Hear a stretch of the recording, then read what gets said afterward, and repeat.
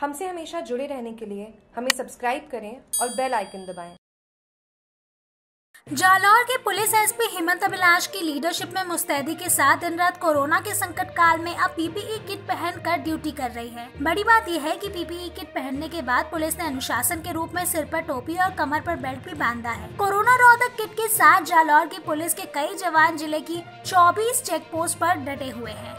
बिना पास के किसी भी व्यक्ति को ज़िले के भीतर या बाहर जाने की अनुमति नहीं है। पुलिस कोविड 19 के खतरे को देखते हुए खुद को संक्रमण से बचाने के लिए किट पहनकर चेक पोस्ट पर ड्यूटी करनी शुरू कर दी है। इसमें सबसे बड़ी बात है कि पुलिस किट को पहनने के साथ उसके ऊपर अपनी पहचान, बेल्ट और कैप को भी पहने नज़र आ रही है। पीपीई किट को पहने पुलिस के जवान का वीडियो पुलिस अधीक्षक ने मीडिया के साथ शेयर किया है।